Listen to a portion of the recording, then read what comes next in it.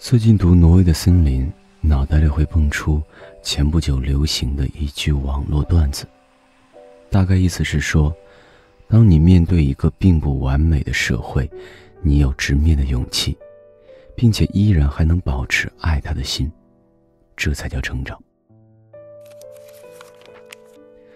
整部《挪威的森林》就是主人翁渡边的青年成长史，毫不怀疑。渡边是一个特别纯真、坦诚的青年。他与世界保持着距离，与恋爱保持着距离，并不是他想与众不同，或者沽名钓誉，而仅仅是很多当时的日本青年，对当时日本虚伪社会的一种迷失与反抗。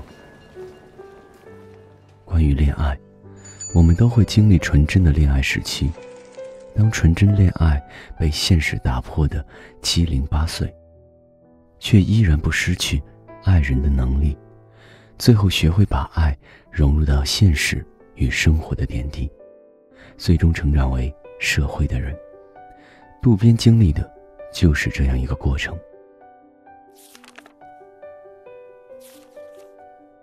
小说里三个人物自杀了，渡边最好的朋友木月。献给自己的成年礼是自杀。他和直子恋爱只是纯精神上的，这似乎象征着我们每个人青少年时期最纯真的爱情，也象征着他们不愿与社会相融。直子最终选择了随木月而去，象征着渡边纯真爱情的破灭。这种成长注定是痛苦的。但即便侄子不死，我想，渡边也不可能和侄子终成眷属。毕竟，两个活在理想里的人，会被生活的点滴敲得支离破碎。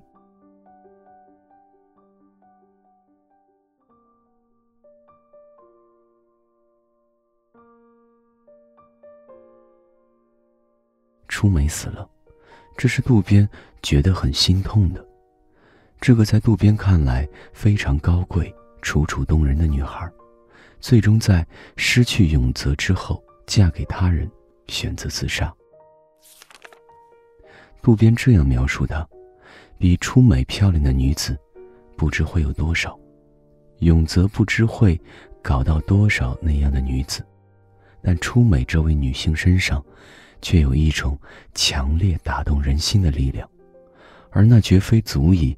撼倒对方的巨大力量，他所发出的不过是微不足道的力，然而却能引起对方心灵的共振。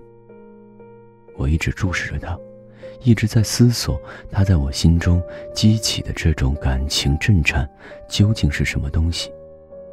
它类似一种少年时代的憧憬，一种从来不曾实现而且永远不可能实现的憧憬。这种直欲燃烧般的天真烂漫的憧憬，我在很早以前就已遗忘在什么地方了。甚至很长时间里，我连他曾在我心中存在过都没有记起。而初美所摇撼的，恰恰就是我身上长眠未醒的我自身的一部分。这一部分就是渡边、木月、直子所追求的。最纯真的爱，初美一心想着能用自己大度的心与纯真的爱情留住野心勃勃、游戏人间的永泽，但发现这是不可能的。初美的死，其实在说传统的日本女性在追求真爱不能获得后的殉情。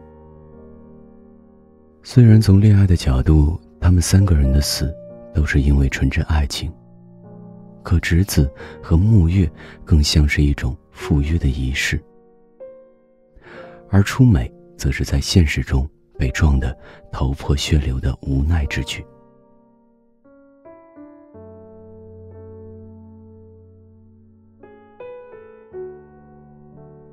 初美死后，渡边选择和永泽绝交。除了因为纯真爱情惨败现实的无奈，也有关于他们两人如何看待性与爱的问题。出美的男朋友永泽对无爱的性乐此不疲、理直气壮，觉得人生本该如此，没有什么不可以。而渡边却因为无爱的性，有种对自己的厌恶和负罪感。渡边最终因为绿子和玲子走进了现实的爱情，使他们能够承受住失恋的打击，坚强的活下去。所以在书中，我们听到渡边说：“喂，木月，我和你不同，我决心活下去，而且要力所能及的好好活下去。你想必很痛苦，但我也不轻松，不骗你。”这也是你留下侄子死去造成的，但我绝不抛弃他，因为我喜欢他，我比他顽强，并将变得更加顽强，变得成熟，变成大人。此外，我别无选择。这以前我本想，如果可能的话，最好永远十七八。但现在我不那样想，我已不是十几岁的少年。我已感到自己肩上的责任。喂，木月，我已不再是同你在一起时的我，我已经二十岁了，我必须为我的继续生存付出相应的代价。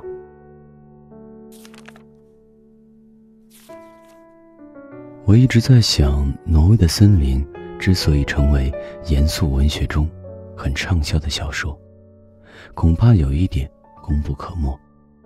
就是书中的散落的一些象征意味浓厚的良性描写，充满了青春的荷尔蒙气息，看得让人心动，给人遐想。